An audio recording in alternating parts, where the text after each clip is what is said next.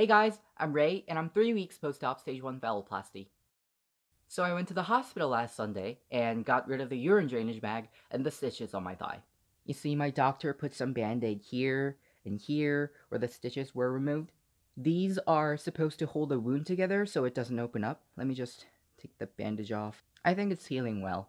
So I wanted to talk a little about my recovery today. Most importantly, I can finally take a shower now, which was the first thing I did when I got home. It feels good to be clean. My ass doesn't hurt anymore and the bleeding has stopped.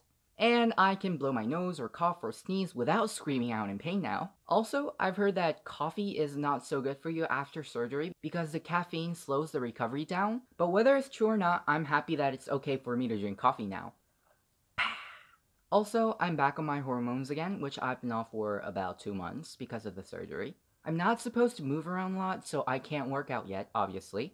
And I still limp a little when I walk because my thigh stings a bit, but other than that, I'm back to my normal daily life. I can sit upright, walk around, and pretty much everything else. Now that I've gotten rid of the urine drainage bag, I've noticed some things. First of all, I have this weird feeling when I pee. Like, it's coming out, but it doesn't feel like it's coming out of my own body like I'm winning the bet. Also, I did not expect this, but I can actually pee standing up now. I think it's because of the urethral lengthening I got. My penis isn't made yet, so it's a little hard to aim, but still. Let me show you.